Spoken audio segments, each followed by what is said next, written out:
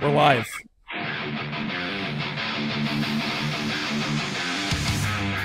Don't you do it. Hello, everybody. Welcome to the 131st episode of the Alter Ego podcast. I'm your host, Jack Austin. With me, as always, Mr. Ryan. What's happening? How you doing, buddy? I'm swell. How are you? Doing all right. Doing all right. Uh, Rhino back with us again from the Good Great White North. evening. Good evening. And uh, Mr. I don't know how close to be to my camera, Nello. What am I supposed to do? Should I go backwards? I can go backwards. No problem. Look, I'm all the See how the arm extends with you? What's up, everyone? Oh my goodness. What a week. What a week. Got uh some pretty good stuff to talk about today. Uh if everybody was paying attention, you got a little Ant-Man action last night. Whew. That's actually what I wanted to start the episode off by talking about. Ant-Man and the Wasp Quantumania. Mm. What's the official name of that show? Can we or that movie? Can we can we ask? I mean, is it Ant Man? Because all I keep seeing is Quantumania. Then I see Ant Man and the Wasp Quantumania. It's I don't Ant Man know. and the Wasp, semicolon Quantumania. Right. Seems legit. I mean, hey, they should just add Boogie Bonanza Jamboree after that. Ant Man and the Wasp colon Quantumania Boogie Bonanza Jamboree. I would go see that. Me too. Is I it a was- semicolon or is it a colon?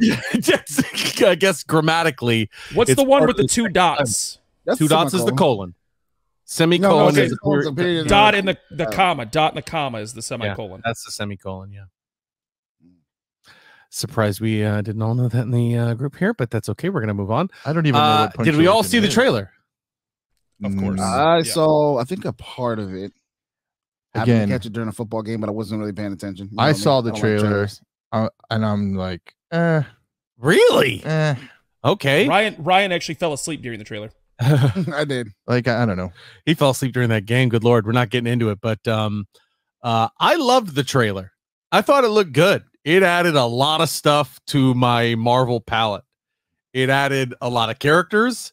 We finally got to see a little bit of action, and this looks like it will definitely. And that's kind of been reported that this will have a much more serious tone than any other Ant Man movie has come out yet. Oh, I'm out. I'm out. It also has the longest runtime of any of the Ant Man so far. Two hours and I That believe is correct. five minutes. Yeah. I mean, this is going to be a wild movie. This is, eh, you know, and, and somebody was asking me before, like, why is this one a big deal? I'm like, well, because this is, you know, remember in Guardians when you first saw Thanos and you were like, oh shit, this is the guy. Well, we've seen, True. you know, we've heard of him. You've seen a brief glimpse of a statue of him if you saw Loki. So you know this is the guy. When you were introduced to Thanos last time, Ant Man uh, Quantumania is going to kick that up a notch. Uh, I think you're going to see a lot of Kang the Conqueror and a lot of what he's capable of. We've seen Kang already in Loki, though, right? He, that's was a when he made variance. his debut. That was a No. variant of Kang. Right. That's what I was going to say. Is that's all like variations, and in this trailer they even say he can destroy timelines. So all the variants of, excuse me, of Kang are incredibly powerful. So this is going to be very interesting to see which way it goes. We saw a lot of crazy stuff in this trailer, hmm. and it looks very heavy. Like you're is- going to see a lot of things happen here. This is the Kang that the variant Kang talked about in Loki, like the one that you don't want to see, the one that you don't want to experience. Right. He's the one who's like, wait till you meet some of my variants. Right, I get it. When he was at the desk and he's like, I am nothing compared to what's coming. Yeah. If you kill me, obviously. yeah. I don't know, man. I saw I even And I saw think- MODOK and I'm like not really all that impressed with what that looks like either. I don't know. I what like do you want? You want a guy's face? I don't know. I uh, I don't. I'm not, I'm not going to make any assumptions on this yet. All I know is we've talked about this several times. Where it's like, ah, they're dropping us stuff we don't know what we're looking for yet. And in this trailer, Kang says to him, "I have what you want." And what do I want? You want time. And you're looking back at those seven years or however long, five years that he was snapped. And Kang is promising that. And you takes me, it took me right back to that moment where Scott Lang finds out Cassie is uh, not dead and that he is. And he goes running to the house to talk to her. And then he just can't process her standing in front of him. And I'm like, this is laying up to Kang's motivations to getting a hold of Ant Man. And I was like, damn, I can't believe because they are. They're setting up the breadcrumbs. We just haven't seen some of them yet. Is this the most key Marvel movie in this like four phase four, phase five buildup to where So like this far. is what's gonna kick everything off, right? And if they miss here, what happens? They won't. They won't miss here for one, but uh, to, to echo what Rhino just said, so far this will be the most important movie that you have seen in the MCU chronological storytelling. It's bigger than Far From Home or No Way Home. It's bigger than Multiverse of Madness.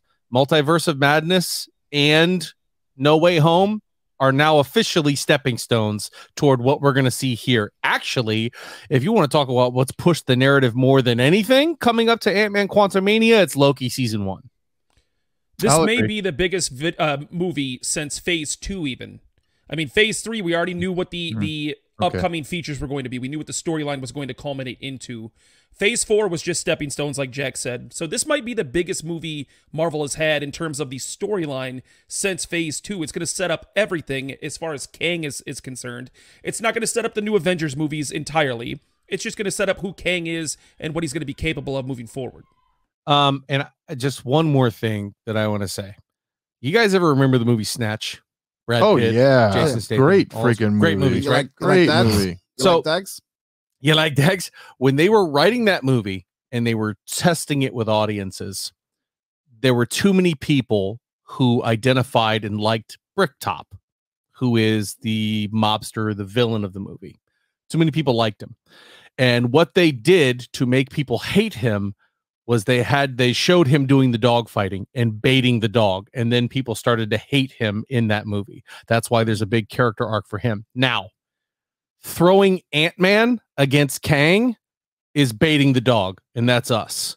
We love Ant-Man. Ant-Man's funny, he's lovable, he's always the guy who's in the middle of the situation, making it lighter and helping everyone. They're gonna put that guy that we love against a freaking Rottweiler. Now, I don't mean to put Rottweilers in a bad light, but you get what I'm saying Yeah, the They are putting is the guy the you love against the the machete right and so this is going to set kang up beautifully whether ant-man lives or dies So this movie, what you're telling me, somebody who is not as like knowledgeable on all this stuff, is Mm-hmm. the setup for phase four and five, right? It's basically it's like you're not you're done dropping crumbs. You're now gonna give us like an appetizer. i think if Well, i would Phase look Four at is this, over with. i would say this if this I'm is sorry, anything phase it's five, the it's either the. Yeah. beginning of phase five or the cap on phase four so this is like this is like when you go like out to eat. It's like the little appetizer, like to get you going.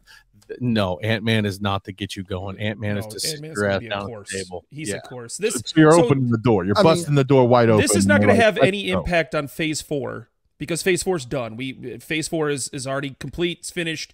Nothing else with Phase Four is going to matter anymore. This is what's going to kick off Phase Five. Okay. So it's the opening act, but it's like going to a concert that has a big name opening act. What if this is just to set up Blade and he goes to him and asks for time to go forward? i The movie to mean be made. it's it's not out of the realm of possibilities i mean all of these things are going to start to click if you don't remember when they had loki season one again there was times where mobius and one of the other agents was like man we've brought in demigods we've brought in vampires and that was the nod to blade. And they're, they're talking about the tva dealing with literally everything. So i think a lot of this is going to lay out that groundwork. Is there something you saw in the trailer like both of you guys who like literally probably have watched the trailer multiple times. Is there something you saw in the trailer that maybe a guy like me didn't see? Or is there something you're excited that you're like man i saw this little snippet and i'm like man i can't wait to see this. I hope they build on this. Yeah, I think uh, the technology that you see in like the little city, the little capital area that Kang resides in, I think that technology is what made the Ten Rings from Shang Chi very similar looking. And I think Shang Chi's rings will tie into maybe not in this movie, but they will tie into Kang somehow going forward in Phase Five. It's very possible too, because think about that. Shang-Chi's father was hundreds of years old, and the quantum realm deals with time. Hmm. And so that could have been something that dripped into Shang-Chi and the Ten Rings. I totally agree. Uh, the thing that I'm excited to see is the brutality that they showed of Kang. They show a bit of that fight, and I'm sure it's a lot worse. I want to see them flesh out this villain so everybody's like, ooh, this is a bad time. Because they don't show him just saying, you know, they show him looking at me go, Your daughter might not want to watch what's about to happen. You know he's he is going to get down and dirty, and I'm ready to see that next level from the MCU. Do you think it'll be like a Negan like death scene if the Ant Man does perish? I don't think you'll see something of that level of brutality in the MCU in terms of Negan because of you look at the audience that Disney and the MCU is trying to All right. garner. So All right. no. Um I but do for PG thirteen it'll be brutal. I think you see brutal. Let's think about Thanos. Did Thanos ever really bloody anybody up? Nah, No. It worked the Hulk over pretty good, which is complete horseshit. But you know, he he worked the gauntlet. He also, I mean, he punched a few people, but it was never really brutally violent. Like I guess him and Cap kind of went at it, but it wasn't anything. they didn't go at it. He pushed the hand forward, Cap grabbed the hand, and that was it. And then he got a right cross to the face. Okay, So I'm thinking, I'm thinking Kang is going to get a little bit more personal. so you just talked about Thanos. Do you think Thanos? I mean, not Thanos, but you think we're gonna care or kind of have like more interest in Kang like we did Thanos? I don't know. I, I, I I I don't think so. I I I think Kang is going to captivate the audience in a different way than Thanos did. Thanos had a mission, and his mission was snapping out half of existence to make a better universe. And if you think about it philosophically, this is actual. Uh, it's actually a debate that's happened at the college level. Was Thanos right? And there are a lot of people that agree Yeah. with what Thanos did. I mean, so his lot more than vision, level, his yeah. His vision, his message that he was trying to portray to the audience is a lot different than what Kang is. I mean, you got to think about it. Kang, the conqueror, all he wants to do is dominate and kill. That's it. and be and be the head of that food chain and and and dominate the order. I think he's just another very obviously I know he's another variant of he who remains. He's keeping the timeline in order, but he's in charge of that timeline. So it's a great thing. Don't try to recreate Thanos. Don't try to redo Thanos or anything like that. Let him be his own thing and then focus on Kang for what Kang is because if you try to recreate the wheel, people are going to see it coming. They're going to be disinterested. They're going to call Marvel lazy. And not to mention, it would be lazy. There are so many other stories to involve. And now you've got variants and things like that and different universes that are coming about. Yeah, Kang is going to be the top of the food chain. I guess that's my, my what I want from Ant Man. I want something fresh. I want something new. I don't want this rehash stuff of the same characters over and over and over again. Sure. And I maybe I just want a breath of fresh air. Maybe I just want something new, something different, a la Loki style. You know what I'm you, trying to say? If you look at every single Ant Man movie that has come out, they have been exactly that. They have been different than anything that we've seen in the MCU. And that's every iteration of Ant Man. In the first one, he's just getting the suit, just doing the job, just trying to save some friends, naming the ants, being funny. He's not Captain America. I can do this all day. Mhm. He's not the billionaire that's out there fighting until his armor falls off. That's true. He's not Thor holding the hammer of the gods and being able to hold all that power. He's a dude who could shrink and get bigger. And the See- second one, he's sorry, go ahead. I was gonna say, and touching on that, that's one of the reasons why for me this movie, I'm not so sure. Uh, I understand like Ant Man going against freaking uh Kang. Like, come on, bro. Like, that's not even a competition. You Right. know what I mean? Right. Well, the So pre- the premise see what is happens here. the premise is that they're studying the quantum realm as they have been since Ant Man and the Wasp. Let me get back to that. Let me finish my second part. Was yeah. you know Ant Man two? He's still he's in house arrest. All he's trying to do is help Hope and Hank. He doesn't really even have a titular villain. Ghost is in it, but at the end, everybody ends up trying to help him. So that movie again, totally different theme, totally different everything. In the Avengers, it's hey guys, I just got out of the quantum realm and I can help you. Is that anyone's sandwich? And now you got him studying the quantum realm, and then he's going down there with the devil. And the devil's going to say, Hey, listen, I know you can do this, and you're my way out. And so I don't think it's so much of a fight. I think it's a try to survive, or, you know, and even says it in the trailer I don't need to win. We both just need to lose. Well, there's also a reason why you're putting Ant Man up against Kang first. You're not going to put a Thor up against Kang. You're not going to put the Avengers up against Kang. You need somebody to set that storyline up because we all know Kang doesn't die. So you're all know that Ant-Man is not- link, right. We all know Ant Man is not capable of defeating Kang on his own. at all. So you you bring in a lovable character, and like Jack set this up earlier with the the the baiting the dog. You bring in a lovable character who is not capable of beating Kang by any means, and that's what sets up the storyline going forward. Not only do you hate Kang, but you obviously know he doesn't die. He's going to be back later. And then so you that's I rally think all that's the other exactly guys why Ant Man is is the first movie. this is Ant Man's an- the first guy. Yeah, I mean, but like like just for those of you who don't know and just follow this for information, you give Ant-Man and the Wasp several months to prepare. You give them time, you give them planning, and they know they're going up against Kang. Kang is still gonna win on a moment's notice. It's not a fight. So it's kind of odd to look at that and go, oh, why, why would you put those two against each other? That's why we're all intrigued as well. Kang is top tier. So in essence, Kang needs Ant Man to get out Mhm. of the quantum realm or whatever he's in to get into modern The day real world. Yeah, okay, okay. That's that's the idea. Yeah, I think that's I think that's what the premise is going to be. He he needs help to get out of the quantum realm, and then he ends up screwing Ant Man over in the long run. So, So, this is a hold make or break movie for Marvel f- for for stage five. Uh, eh, sure. Yeah, it is. Eh, But I've got to say, let's look at all their let's look at their history. Every movie that they've needed to hit and be a home run has been a hit and a home run. Oh, Like, so- look, go ahead. I was gonna say I thought Kang was like all powerful. Why does he need Ant Man's help to get out of the quantum realm? Because somebody else put him there, and there's probably some stipulations as to who put him there that he can't reach, which is why he's trapped. Well, isn't that Janet the whole Van Dyne, premise of? Ant Man? He figured out the quantum realm and how to time travel and go in between timelines Yeah, so that they could ret- get the stones and return the stones, even in Infinity War and Endgame, right? correct. I mean, I think still, Janet I Van mean, Dyne's the one that trapped him there. I think that's why you see her in the trailer say, "Turn that shit off immediately." Was that Julia Otherwise- Dreyfus? So she does no, that's Michelle Pfeiffer. Oh. So Yeah. she is saying Cassie's trying to impress everybody and say, "Hey, I created like a walkie-talkie. We could communicate with this." And before that, they were just traveling there, grabbing energy, jumping out, or doing the whole time travel thing. Yeah. Now Cassie's saying, "Well, I've gone even better. Now we can communicate." And she's like, "Oh, don't do that. You just put a hook in the water." And then, you know, obviously they get a bigger bite than they can handle because Kang didn't come to them. He said, All right, well, you're coming to me. And since you figured out how to do this, you're going to figure out how to get me out. And I'm sure he's going to mm-hmm. say something along the lines of, Or I kill your entire family. I mean, sound about right? How does he do Yeah. that? if He's stuck in the realm. Well, See, I'm- I I'm- guess on February a seventeenth we'll figure that out. So here's hmm. what we're going to figure that out here. You know what I mean? Ant Man is clearly figured out. Geared hardware. These rugged yet stylish watches are the perfect accessory for the man who's always on the go.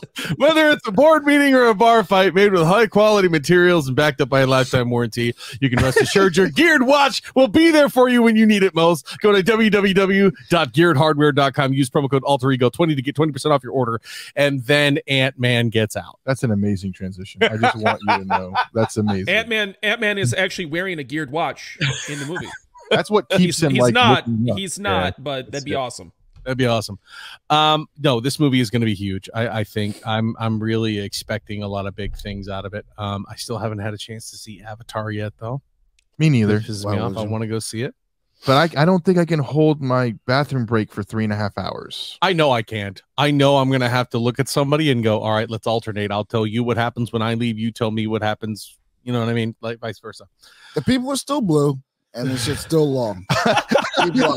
Well, yep. Uh, expert Seems- synopsis by, seems like, by uh, What I here. what I miss, it's Avatar. Oversimplification. Yeah, yeah. It, okay. Spoiler alert. have you It won't be Ryan. That's you the guy. yeah. What See, happened? Fucking blue monkeys are still riding the fish mountain. I don't know what you want. Oh, the blue guys got tails and shit now. They they're they're in the water. That's what happened. Actually, here's what's going to happen. Hey, what happened? That's why I'm watching it at Wake home, up, if I bro! ever watch it. Ryan, it's still the I'm down. previews. I want to watch it at home go? with my big new Yeah. TV and Yeah. I, where I can like stop it, take breaks, get a snack. Three hours is a long time. Yeah. man. All right, well, let's get into some of the news from this week, shall we? Since we've kind of spent a lot more time than I anticipated on that trailer, but I'm glad we did. Hey, man, it was a great discussion. Um, the PlayStation 5 shortage is over, guys. You can you can all relax. Although Uh, I think two out of four of us have a PS5. I do not because Oh, you don't? I haven't found one. Wow. Oh, really? I could. Man, I was just at GameStop the other day. There was like a few of them in the, each one that I Yo, went to. next time I'll give you money right now. You pick me one Or up. Or you can just go yourself. With what? I'm here on Tuesday. A so car? my day off. Yeah, yeah, Hey, car. Do you do you want the sucker Walk. version where you get The the, bus? uh, No, I don't want the disc version. I want Uber? the download only. no, no, I'm talking about the game that you get cab? with the- paying the actual price of the game in the bundle, which kind of defeats the whole purpose of being a bundle. Fuck you for that, Sony. Let's hear it. I'd rather do the God God of War bundle if I'm going to pay for a game. I, I Yeah. listen. If I'm if I've got a PS5 for ever for any reason, it's because of those single player games like God of War, God of War Ragnarok. I want uh, Spider Man. Horizon Zero Spider-Man Dawn. I want the Spider Man games. It's the only reason why I bought mine. Only reason. Otherwise, I have no need for it. I heard the uh, second Spider Man's really short. Well, it's not really short, but it's shorter than the original. Yes. I'm looking forward that to that was a good Wolverine game. game. Agreed. It's pretty far down the line, I think. But uh, but that should be interesting. But is there anything else in gaming that's really coming out for either Xbox and or PlayStation right Not now? It's not been until pretty June. stagnant, Not until June. right? It's been pretty stagnant. If you tune into episode 127 of the Alter Ego podcast, you'll hear all of the previews for games coming out. Oh yeah, we did the Game Awards, and they talked about all the games that were coming. Uh, there's a bunch. There's a bunch. But um, yeah. So uh, get yourself a PS5 while you can if you're looking for one, or uh, be an adult and get an Xbox. nope. Uh, Why would I want to? moving on to movies system? and TV? It's You have one. system. Yeah. Yeah, PS4, of course. Yeah, it's inferior. So is the PS5. Um, movies and TV. Out Let's get mind. into it. Uh, everybody's favorite uh, mutant, Quicksilver, from uh, Age of Ultron, is being targeted as the new James Bond. That's great. Yeah, I love Aaron Taylor Johnson. I think is Yes. he a, is he a British guy or is he American? Yes, he's British. Okay. Okay, he seems British. Um I think he's a great fit for that, man. Like he's he's a young dude, he's got style, he's a good-looking cat. Why wouldn't you do it? Do you think the He was role in amazing in Bullet Train. did it? The I- way yeah, he was looked and, amazing. like, he acted that whole British with the suit. He, I, when I saw that movie, I thought, oh man, James Bond's right there. I haven't seen it yet. It's Sure. it's a Bullet Train is exactly what you would expect it to be based off of the trailer, Nice. but it's entertaining. It's it's a good watch. I watched it on I think it was Amazon. well, I look but at the he cast was- and I know it's good. It's He a was little awesome. drawn out, but it's good. Very drawn out. He's just You guys ever see uh oh what is it? Clerks 2? Yes. Three movies of guys walking a ring to a fucking volcano. I'm ready for the new one too, by the way. Walking. oh, go see Isn't that when they work they work at the fast food place and he goes on Movie. that tangent? Yeah. Yeah. He created that fast food place actually, Yeah, he did. Yeah, Kevin Smith. Yeah, and he doesn't eat it though. yeah. He's now Well, he had a heart attack. He probably doesn't eat any fast food. heart attack that he had. Speaking of uh, uh, workplaces, Vince McMahon is back at his old stomping grounds, the E. WWE. Bro, he basically just walked in there with that swagger and said, "You're fired. You're fired. You're fired. I'm taking over." No, pretty sure that's that's not not, at all. That's He the fired exact three opposite. people off of he that board. Yeah, he booted three people off the board. Yes, he did. he, he probably has the majority ability to do Well, that. because he owns it. Still. But the interesting part is he's going in to sell it. Does that improve or decline the value of? WWE? I think with how successful AEW has been, I think this is a death note for WWE. I really do. That's why I think he's trying to sell it. how much is it worth? A A few billion dollars. A few billion Billions. easily just be especially with the markets overseas and the the saudi arabian market that's worth so much money but uh, they're not going to sell it I, I, first of all your comment that aew is making wwe a death note. Wwe still does hand over fist more money than aew aew is a better product but wwe is in no way in danger. I think vince was sick of hearing the nonsense anymore and said you know what? I think I'm done. I'm going to make a couple billion off of this sale and I'm going to hit the bricks. Didn't you say his own daughter stepped down well, before we Vi- got on uh, this- Stephanie McMahon, she she tendered her official resignation with her husband Paul Triple H Levesque still being head of talent, which is interesting. very. So, but so I don't watch wrestling anymore, Right. and I know some of y'all here do. What is the problem with the WWE? Why is AEW starting to gain on WWE. I'll I don't think it's like I don't think it's gotten there yet. I've I've seen a little AEW, I watched a little WWE, but could it be that the market's just too saturated? It's too much WWE. No, I don't think that's it. SmackDown and uh, this and the that and the duh. No, it's not that. It's the nature of the program because WWE went from Attitude Era Yes. to something that was more palatable for all audiences, whether it be your kids, your husband, your whatever, Softer. your wife. It got softer. And a lot of these people that were going for that stuff were like, I don't, I don't care. I don't want to see this.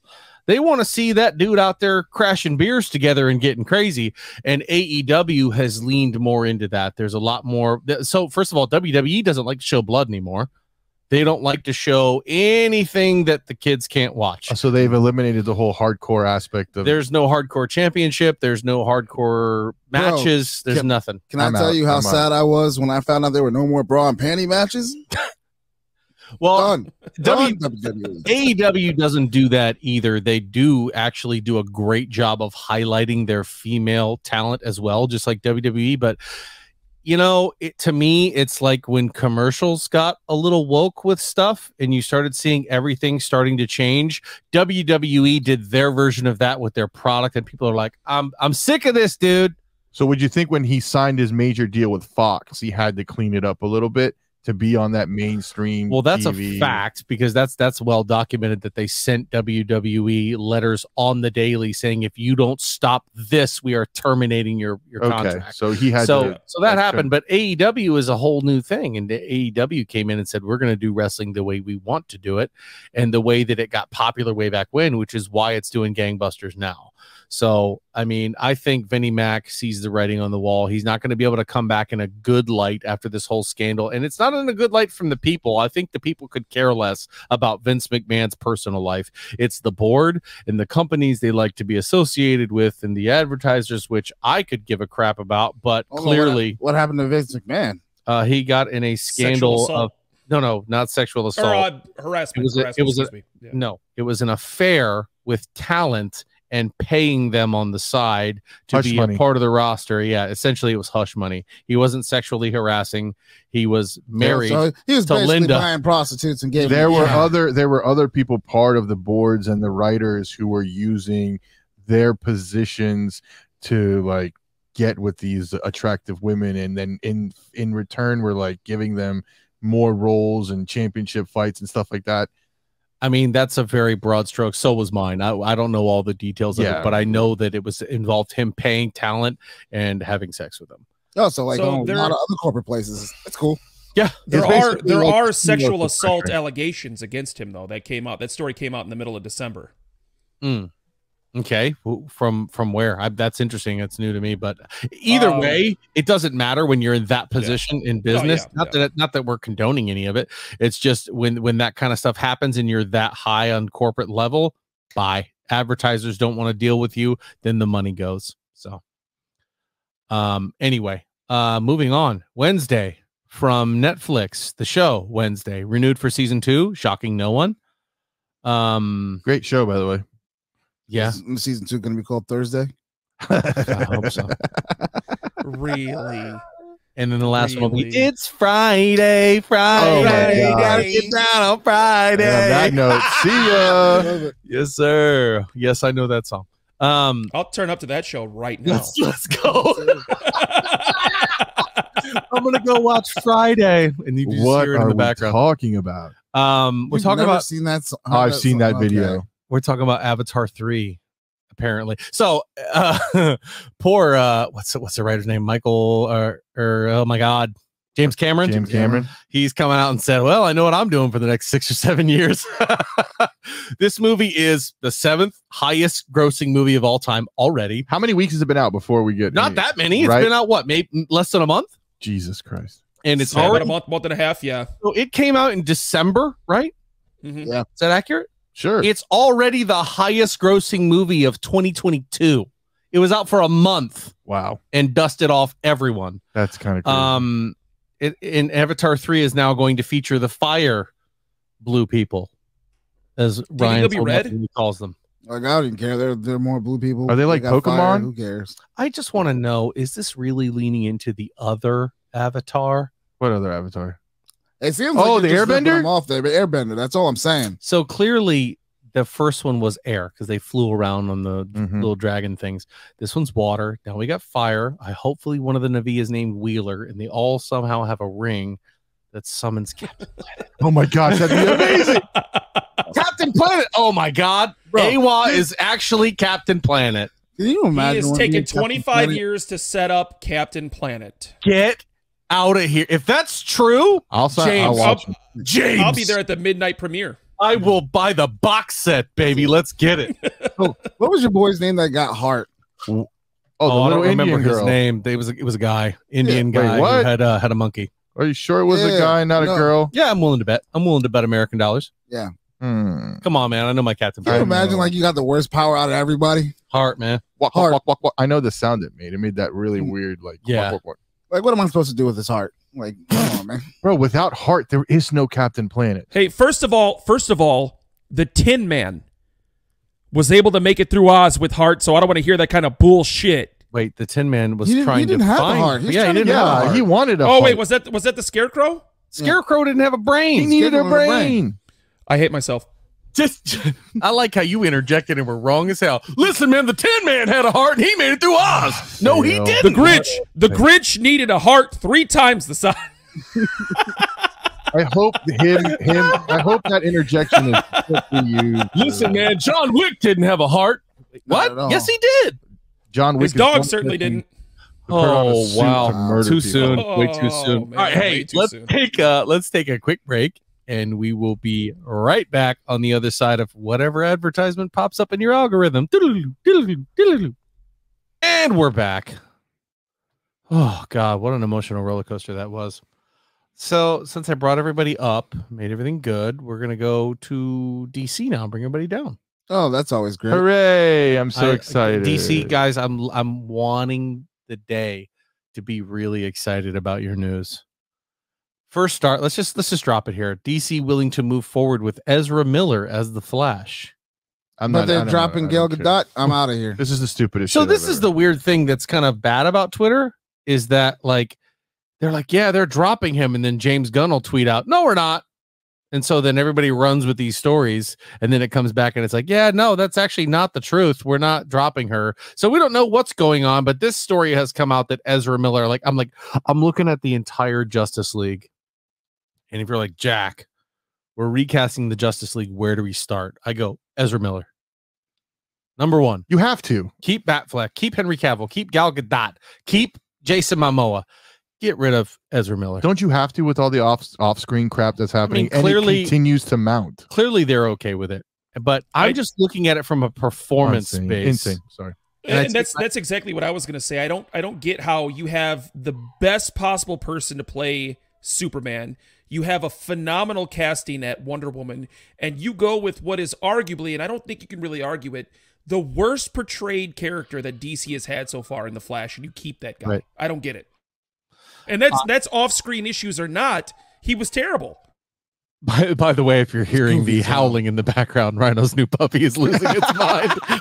Sorry, sorry about that. Uh, my all good. wife should be It's home any minute. So we're teasing the uh the mute button here a little bit but um i completely agree uh, other than him and cyborg i mean i thought the the the whole entire justice league was cast very well but just i don't know i don't know what to do i don't know what to do with it but uh, a casting that never actually happened on the big screen but happened on the little screen stephen amell as the green arrow that was a pretty good one for Yeah. at least the first two seasons and then uh i think since then he has walked away from that role pretty definitely because he's doing heels for showtime or something like that well, I'm pretty sure they ended that series. The Green Arrow series ended. which it had to I thought it was his final season is like coming up. no No, no that's the flash in which gets to the point full circle Oh. stephen amell will be rejoining uh green arrow and flash final their final season probably just a cameo Is there any way we see any of these like Supergirls and like Green Arrows show up in these new DC movies with James Gunn? I don't or know. anything of that. i don't know it's I- james Gunn. yes. Yes, I, I I think with all of the cameos and all the appearances we're starting to get in Marvel now with She-Hulk and all of these lesser known characters, I think you're 100% going to start to see a lot of DC people. and not to mention it's it seems like now the the the thing is that lesser characters are doing well. They're doing better than the big name characters because people know the big name characters and they don't want to see that anymore. That's like with us with peacemaker. Peacemaker was the big one because of the movie but then they go and they show vigilante and everybody's like i love this dude give me more vigilante Yeah, I was gonna say I didn't really care for Peacemaker in the movie. It was uh it was a show that made him for me. Yeah. And I would have never watched if it wasn't for this. i'm just saying so- he's the big name right Yeah. john cena was think- the big name there Case in point, too, for Marvel is Star Lord. yeah No, yeah, uh, yeah. nobody knew who Star Lord was before he came out in Guardians, and he's Right. a, a top tier top tier character now. right now for sure everybody knows him especially because of his whole moment in endgame uh if you didn't watch the other ones. Uh more wonderful news actually this is not bad news. The penguin spin-off starring colin farrell is set to pre- begin production in february? Yeah? I guess. i liked him. Does he I- need I'm- his own show i though? i'm ready for that universe to take off man. I'm excited to see it. I still think that was uh, one of the best batmans we've ever gotten. Not better than dark knight but you know we'll see but does he need? Does the villain really need his own show if you're not going to keep? If you're If you're building gonna Gotham k- City, if you're building Gotham City for the next time Batman shows up, then yeah. But what if. Pattinson isn't the Batman? He What do you is. mean? That's already that's already been confirmed. Is, it, that is he's that been confirmed that being he's coming Batman, back yeah. for He's James coming Gunn's back. uh, stuff? No, he's Batman gonna Two is part al- of James- Batman Two is already in production.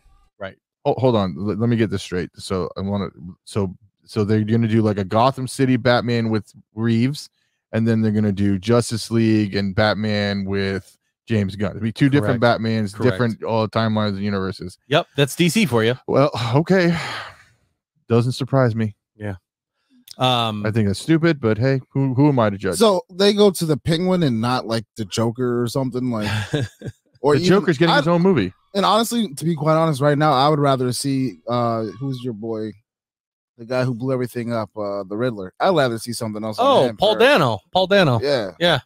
I'd rather see um, a, a series about that versus Colin Farrell. I, I I don't disagree. I think the Penguin is meant to be a centerpiece because Patton Oswalt does deals with everybody. So I think it's going to highlight more than just him. Uh, I also think that Joker that they showed at the end of the Batman did not get the greatest warm and fuzzies from the audience. They were kind of like, "What is this? We don't like this." So we might see some changes there. Um, but yes, I, this is DC, man. I mean, that thing worked, made a lot of money, looked fantastic, and all of a sudden, here we go. We're like, well, this works. We're gonna keep making money, though. What's the worst Joker you've seen? The worst Joker I've ever Jared seen. Like out of all of Jared them, Leto. Just Jared Leto. Jared yeah. Leto. Okay, I, I'm glad we were all in agreement. I just wanted to make sure. Yeah, he's he's. That wasn't even a Joker. That was just a clown. I don't know. I don't know what That that was just was. a clown. That's funny. Um, but yeah, so uh, here's news that you already probably are aware of if you follow the show at all. D- uh, Dwayne Johnson apparently ruffled a lot of feathers at WB, went around a lot of top executives to pitch his movie ideas and stuff like that, and made people angry. That movie was terrible. I actually just watched it a couple, oh, like a week ago, and it's just unwatchable.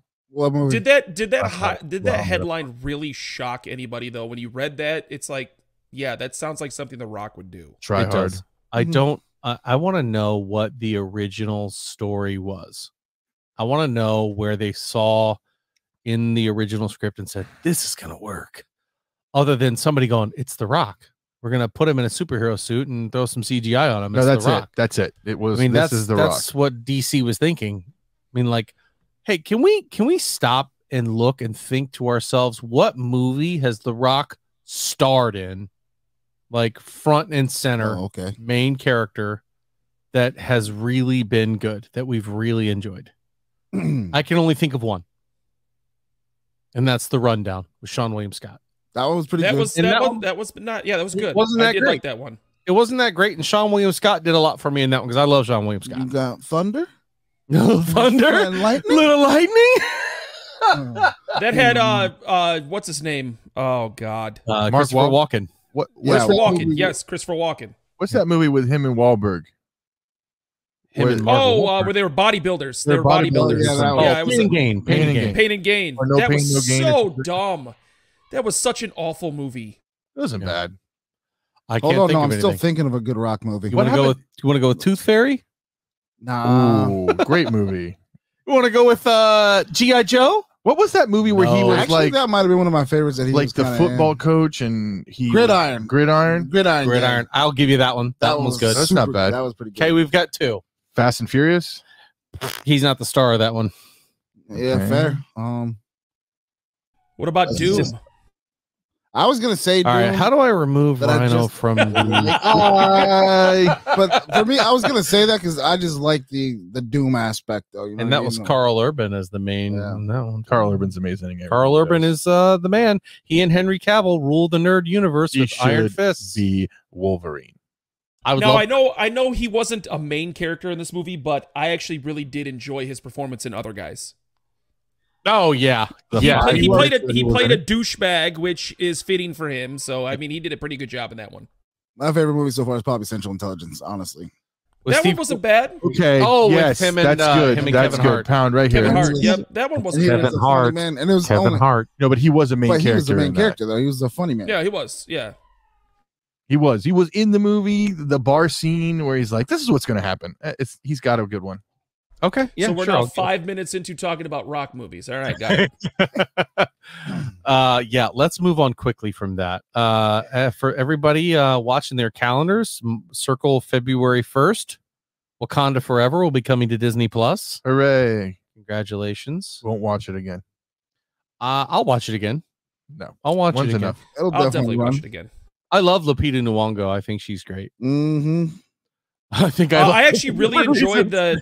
I really enjoyed the woman that played Riri Williams. I thought she was Was an that awesome character. Ironheart? Is that Ironheart? Yeah. Oh, dude, Ironheart was probably one of the best things in that movie. I'll agree with that. I don't think she belonged in that movie I think Uh, she was- so do you mean do you mean not not do you mean the character Ironheart or the woman? No, just the way they Ironheart? portrayed the they portrayed the character and that little girl, the actress who did it, is also really good the too. character the character didn't need to be in that movie It- they could have gotten to the same point without her i'm nothing against her performance i mean sure I, i'm i'm excited for ironheart the series i want to see it but in terms of that movie wakanda forever she didn't belong there but that scene where they're in like that makeshift lab in that warehouse was one of the best like sequences in that whole movie. The action sequences riri does not add to that Okay, yeah she doesn't Yeah, she really did. She really did need to be there. they could have I, I added agree any that. other I agree with forgettable character and said, "Hey, we're going to kill this person," and then Shuri still has that moment of, "You can't do that. This is not how you do things, and it doesn't matter." It didn't have to be Riri. I, I'm ex- like again, I'm excited for. her. I just don't think she belonged in that movie. Anyway, uh oh, this is a juicy Oh one. my bad. Back to rock movies. Faster. That was a good one too. what? Faster's the one where he was in prison and going Going through around and killing everybody. yeah, him and Billy Bob Thornton. It sucked the last five minutes of it. Don't watch it. Wait, you just said it was a good. It's um, good up until that point. He should kill that. It's so good that no one's heard of he it. It has a terrible ending. All right, just we'll tell watch it. Again. Don't lie. no. I How just, many times did it take you to watch it to watch it all the way through? Oh, just one time. Oh, okay. Oh, so you actually enjoyed this movie? I was just like, man, kill this mother. Kill him. Kill him. I knew. I had a feeling it was gonna happen. I was like, Mhm. bitch. I want to watch that Vince Vaughn movie where he's in jail. It's- Where Vince Vaughn's in jail? yeah, and he just he's just like he's like an ex boxer and he starts murdering people in jail or something like that. I'm not familiar with that I film. mean, I, I've just I've read about it and I'm going to watch it eventually. Interesting. Hugh Jackman says some X Men legacy was complicated. Says the X Men legacy is complicated by Bryan Singer. I've heard some iffy things about Bryan Singer. I don't know much about him.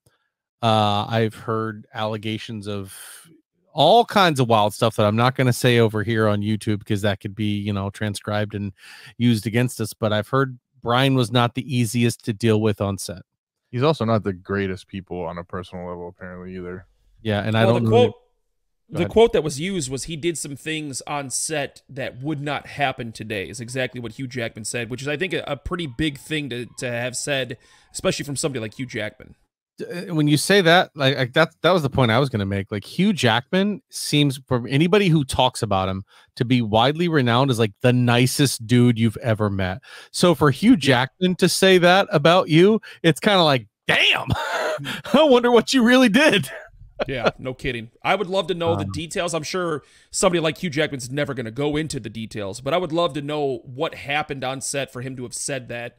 Obviously, years later, too, it's something that stuck with Hugh Jackman. I mean, this is how long has it been since that he worked with him? Probably eight years, seven years. Longer, I, I would think. Yeah. I mean, that's just that's just insane to me. Um, oh, here's an interesting one too. Apparently, oh, I'd love to see this guy come over from DC, but Ben Affleck has been approached to play a character named Dario A- Agger, Agger, A G G E R. And the moment I saw this, I was like, I need to look up who this is.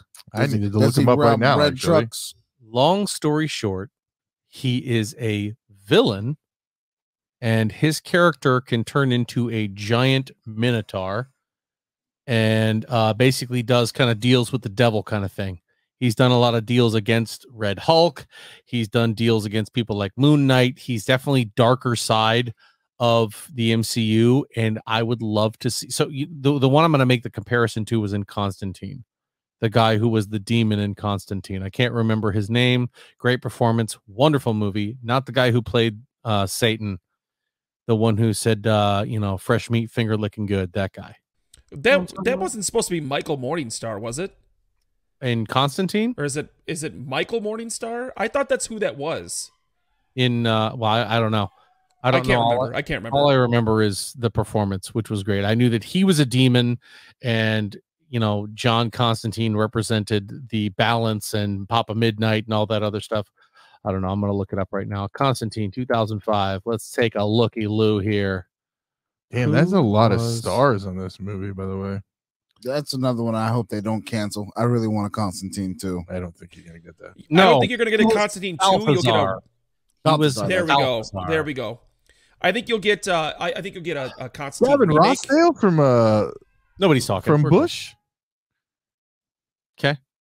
That Uh, was who played Gath- Balthazar. I'm, I'm, I'm so blown away by that, guys. I love Bush. I love Balthazar, but I love Bush even more. They're so good. I don't know if I'll ever come down from this cloud. Anyway, uh Wow. but I think Ben Wow. Affleck would be a fantastic villain. Don't you?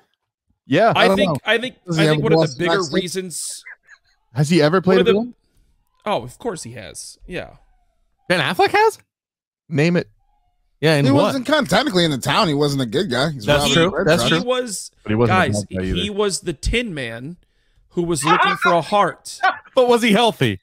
He stole. He stole that person's Stole heart. heart, and so he was the bad guy. Wow. Yeah. Okay, so no, I don't think Ben Affleck has ever been the villain in a movie.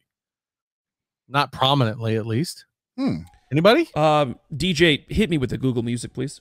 Oh boy. Yeah, let's do it. Uh Jeez Louise. So technically, this list that I just looked up on Collider has him as the villain in Batman versus Superman. Come on.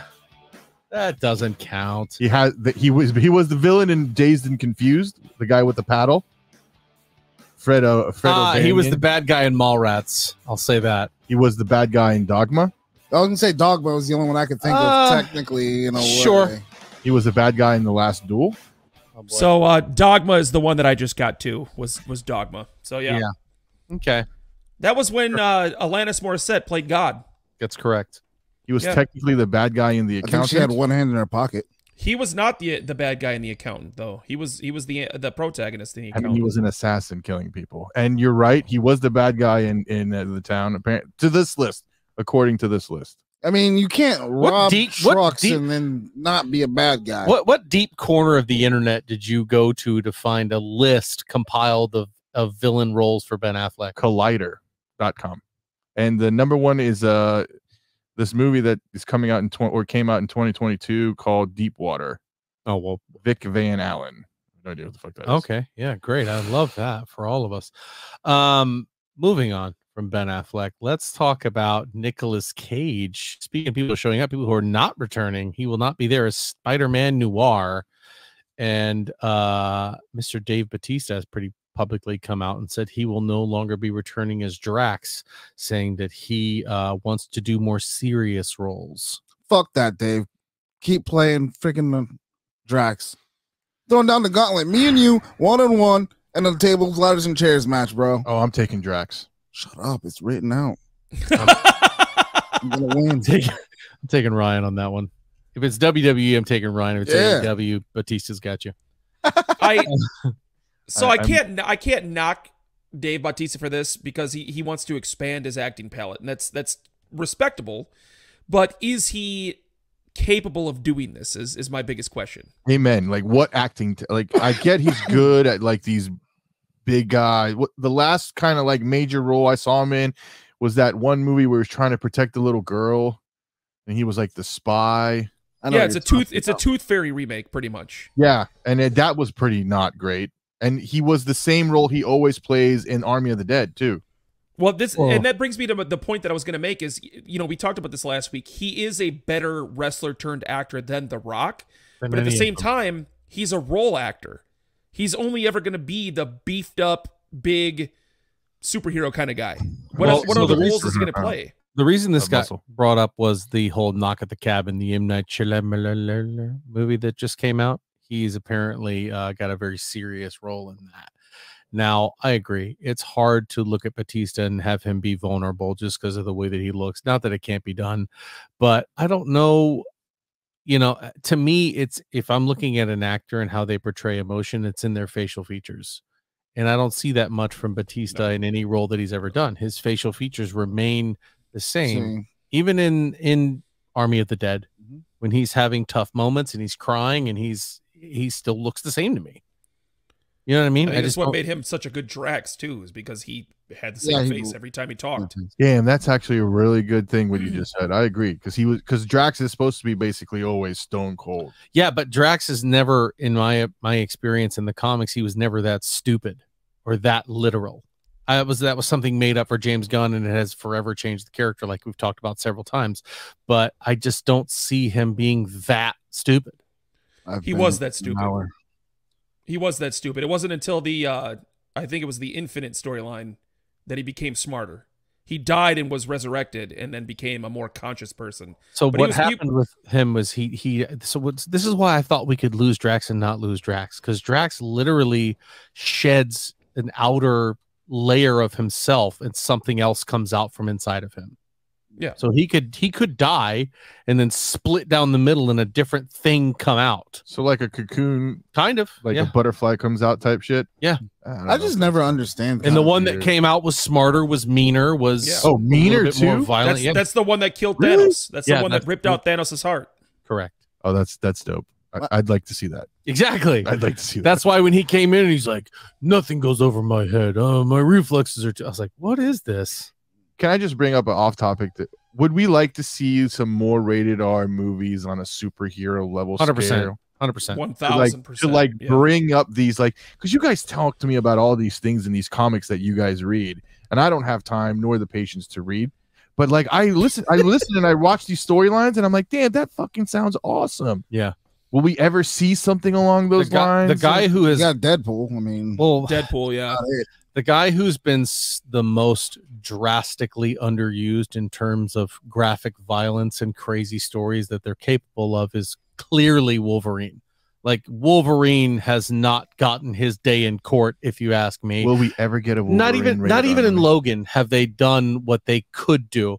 Sure, you see him throw the claws into a lot of people and slice, and maybe an arm comes off with no blood. But Wolverine's a dude who will rip the guts out of your body. I mean, he's nasty. He's the best he is at what he does, and what he does isn't very nice. But they've never shown him at an R-rated level, and they need to. Uh, well, they don't need to do anything, I but thought Logan was rated R. it is. It is. Okay. It is. but it's But still, it's still I- it's still it I paled in comparison to what Wolverine is still what it capable of. do you think in Deadpool 3, which it has been confirmed that there will be some sort of Wolverine in it, do we see like even just a little drop in the bucket of what you're talking about? no, No. No? No. That sucks. Look, So, no, when it comes to making movies, one of your biggest things is to make money. yeah. And having rated R movies limits the amount of people that can go see them in theaters. and It's you great They don't showing want to do that. you showing Wolverine's true potential like him and first of all the claws that they show on the on the movies and the TV shows are not what the claws are in the comics the claws are the length of his goddamn forearm and they come way out there and he really does use them for maximum potential. I'm talking cutting people in half.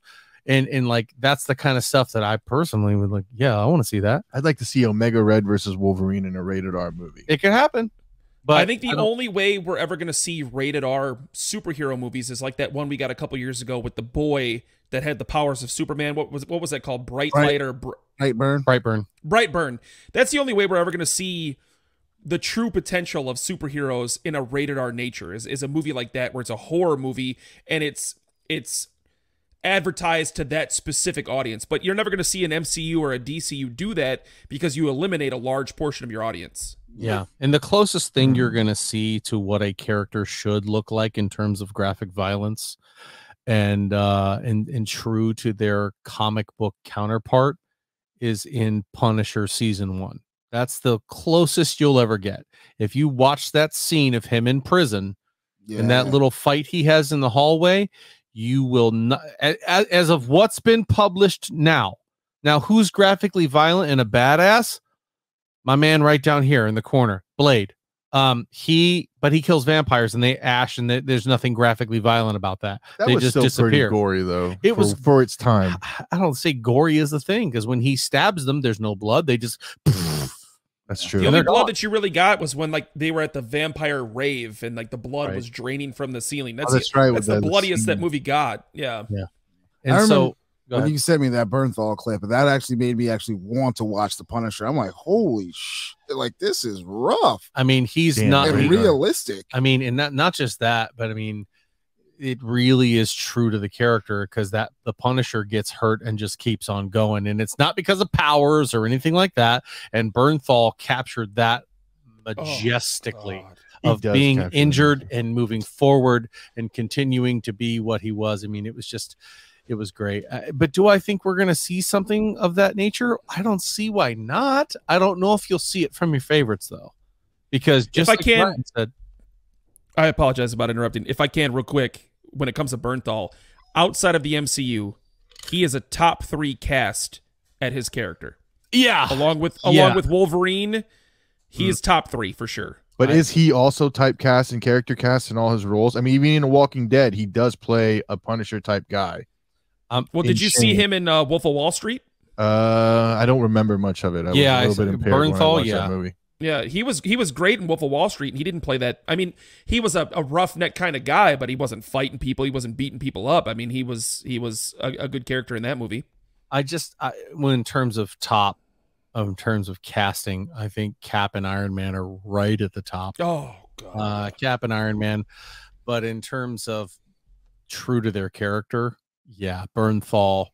Uh, I think, and, and when the MCU gets a hold of him, and you see the skull coming into the MCU, don't expect him to team up with a lot of people because uh, he ain't about that life. But a But- cameo here and there would be perfect. a I cameo here and there showing up and helping somebody or something like that that would be wild oh, I'm all about a, a, a Punisher standalone series on Disney too, Plus. I'm all about that. Do you What think they hoping did a type a good casting with Deadpool? I mean, Ryan Reynolds does portray Deadpool. the Yeah, uh, there's a lot way, of people who think? that Ryan Reynolds is the titular, the best thing that could have possibly been done for Deadpool. I think there are a couple guys that could have done what Ryan Reynolds does. Um, Drop me he one. Kind of Seann William Scott. He just kind of Ryan Reynolds, Ryan Reynolds the character a little bit. It's it's the way Ryan Reynolds comedic timing, and there's nothing wrong with that because Deadpool was nothing but a little blob over his head beforehand. So who's to say he's not like that? But I think there were other people out there that could have recreated the wheel on that one. Yeah. Um, Hugh Jackman is uh, maybe it's an, uh, an an unpopular opinion. I don't think he's the best Wolverine casting. I love him. I think he's great. I think what he's done with the character is fantastic. I don't think Wolverine is mean enough. I don't think the way we see Hugh Jackman portray him is very Wolverine esque. You think he's too clean I think he's to- too clean. I think he is. And then we see that stuff with uh Butcher in the boys. God damn. And you see uh my boy, um, and now that I mention him, I can't think of his name, Karl Urban.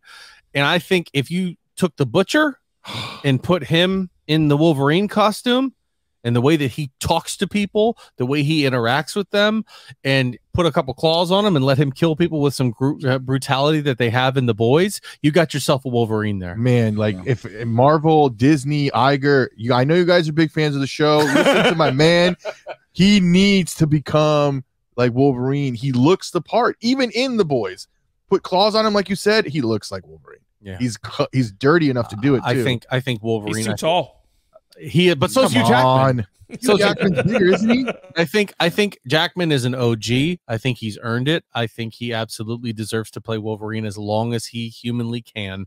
If that's what he wants, I'm down with it. Do I think other people can do it better? Absolutely. Do you think that the the recasting of Jean Grey for some of these other spin-offs and uh what's her Sophie Turner coming back as Jean Grey? Do you think that's a good move? Yeah, I think it's a good move because she's a 100%. bigger named actress and they're going to be recasting Wolverine and they're going to be recasting Scott Summers to be have people that'll be age appropriate to for for that whole love triangle that happens. But they kind of made Jean everything to to Wolverine. And yeah, she's a big part of his story, but she's not like everything to him and that's kind of what they made the character about. I mean, she kind of is though. No, she's kind of not. In like They base whole- they base that concept off the Mm. co- uh, off the uh, cartoon though. Yeah. In the Right. comic books, he's not he's not desperately head over heels in love with her in every storyline you read. And he ain't That's simping. that's based off of the the X Men cartoons that came out in the '90s, and All they I went see with is that in the X Men series. Of him right now, just sitting there. Do you ever think X Men will live up to the expectations that we hold up and we want? Yeah, 100%. When? Because I'm still waiting. Well, that's what we're getting into when we're talking about multiple timelines, multiple branches of reality, 616 Earth, all that stuff. Well, that's what you're getting set up for. I don't give a damn what X Men they make. If it ain't got Morph in it, I'm done. I ain't watching shit. I don't There's give a a lot guys goddamn wanna see- motherfucker. I want to see Morph. I want to see uh, Multiple Man. I mean, I know we've seen Multiple Man, but not in any sort of meaningful way. I want to see a good Gambit because we have not gotten a good Gambit. no, we yet. have not. Channing Tatum would have been a great game. I, don't- I disagree with that, but Yeah, he's do a too. name. Just keep Fassbender and the other guys, Professor X and Magneto. We're done. Fassbender, to me, uh, he was a way better portrayal of Magneto than different than Ian McKellen. I'm not going to say better because I know a lot of people love Ian McKellen. But when I looked at what Magneto, who's my favorite X Man, he's my favorite mutant. Pound. When you're looking at stuff like not in front of Bryan, um, Sorry. when Oh, stuff like that is going down, Fuck, I'm sorry. then uh, you know I just love me some Magneto. Anyway, guys, that's going to do it for us here at the Alter Ego Podcast, episode 131. Uh, very soon, we'll be doing some more of the Versus series that you have seen on YouTube, and we will also be having a standalone episode that is breaking down this next phase in a big deep dive into our man Kang the Conqueror. So, thank you so much for watching or listening, whatever it is you're doing. We'll see you on the other side. Ciao. God, I love it when I time it like that.